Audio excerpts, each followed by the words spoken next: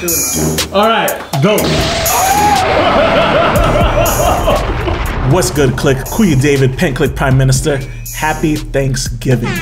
During this time of sharing food and counting our blessings, I want to share with y'all an early concept we shot back in 2018 that mixed both food and poetry in a series we plan to call Hot Pepper Poetry. By the way, if you want to see more fun poetry content, be sure to subscribe to our channel and follow us on Instagram as well. All right, so the idea of hot pepper poetry was that we'd get two poets and have them slam head to head over three rounds. Sounds familiar? Yeah.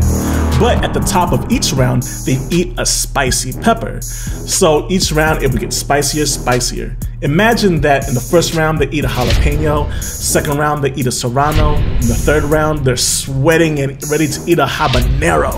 Yeah. The poets would eat their pepper, recite their poem, and then, if they were both good, move on to the next round.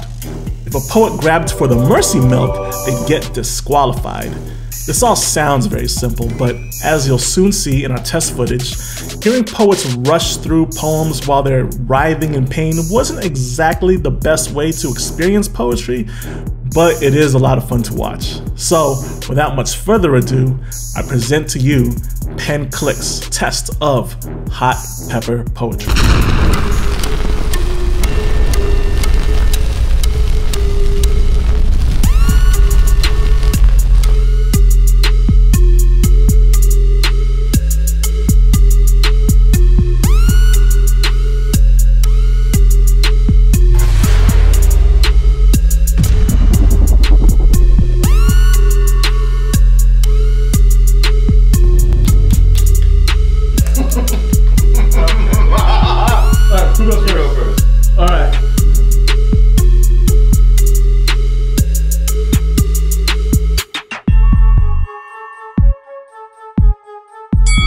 Alright.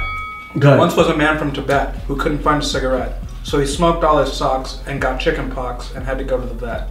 Woo! There was a young lady of Lynn who was so excessively thin that when she essayed to drink lemonade, she slipped through the straw and fell. In, oh God! Uh, uh, you gotta finish it. And fell in. What? I missed. There Go ahead. once was a man named Bryce who had a nasty head full of lice. He said, "If I eat them, then I'll have the I'll have beat them, and besides, they taste very nice." I met her in a chat. She was neat. Her photo was pretty petite. We met for a meal. I saw her for real. I screamed and then ran down the street. Woo! Dope.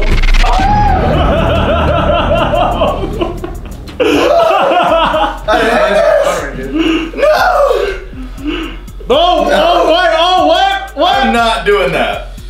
Are you kidding me? Oh my god. Please don't spill on the carpet.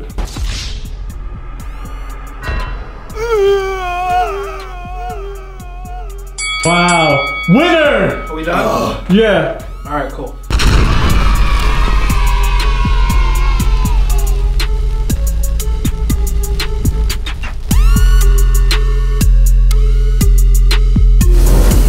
Big ups to my homies Seth Garnes and Christian Barker for being our fiery test subjects.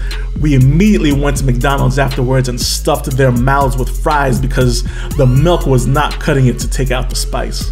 As for hot pepper poetry, there's a ton of logistical issues that need to be reworked that we haven't quite figured out. Like for example, you know, what if they both make it to the end, or what if they have different spice tolerances, or one of one of them throws up? Like, don't really know what to do or how to adjust that. But if you enjoyed hot pepper poetry, let us know in the comments, and who knows, maybe we'll rework it and bring it back for 2021. Thank you, Clique, for watching and supporting us all throughout 2020. Stay safe out there, and if you liked this video, be sure to give it a thumbs up, share it with a friend, and we'll see you online. Yeah!